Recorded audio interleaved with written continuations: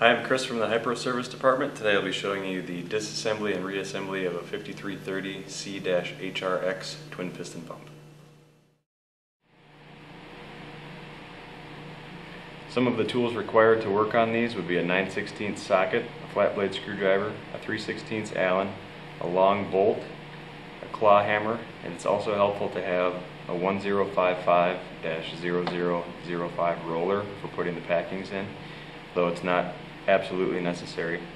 You can still repair it without it. And we've got some specialty tools listed in your owner's manual that are helpful, but if you don't have access to them, it, it's still possible to work on it without those.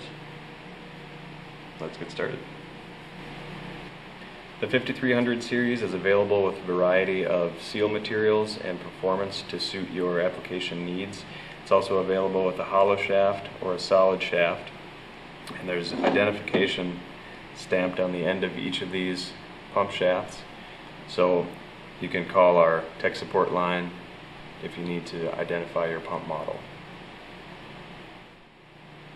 If the pump is leaking, you'll have a visual indicator from this area back here. And if there, if there is fluid leaking back here, you'll need to disassemble the pump and repair it with new seals. First thing we'll do is remove the heads by taking out the 9 16 bolts.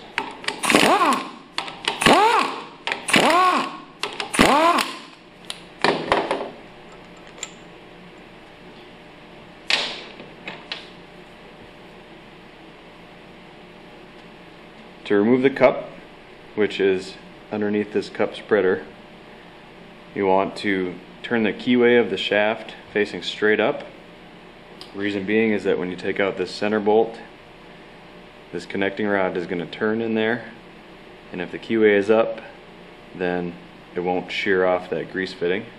If you do break it off, you can just drill it out.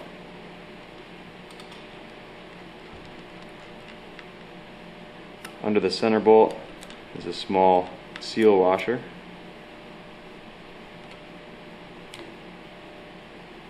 You want to replace that. Remove the cup spreader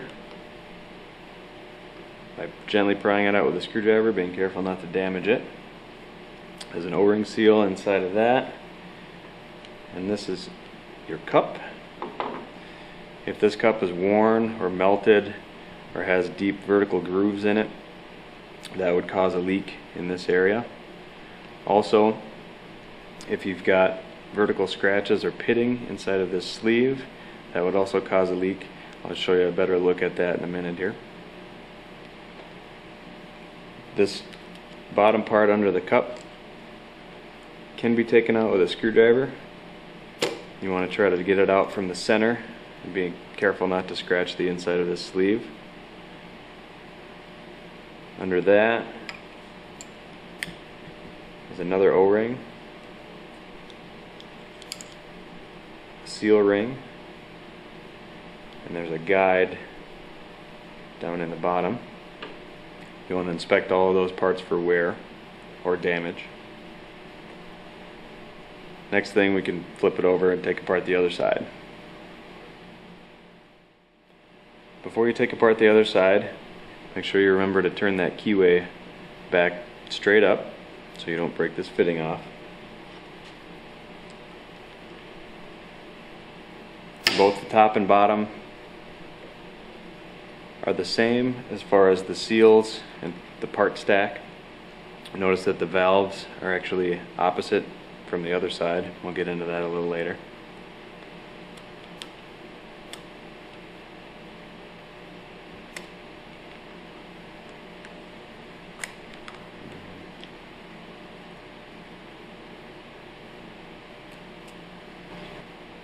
If you have some difficulty getting this piece out, you can pull this grease fitting out take this retaining ring off in front of the bearing push the whole bearing and shaft assembly out first and then you'll have better access to be able to get in there and get that out.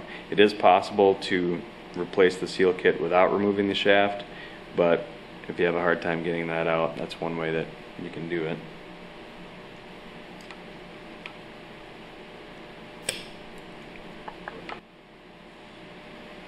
Another thing you can do to get this out, once the other side is out, you can actually turn the crankshaft back in a down position. And you've got a little bit of room underneath to be able to get in there and loosen it up. You just want to be very careful not to damage that graphite guide that sits down in there.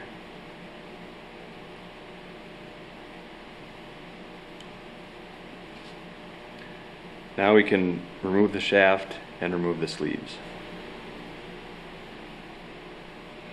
The grease fitting is a press fit into the cam bearing.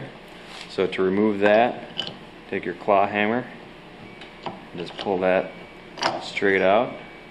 You probably want to replace that when we reassemble it. And then on the other side is this retaining ring. You want to get behind this with a screwdriver, being careful not to damage this bearing, and you can twist that right out.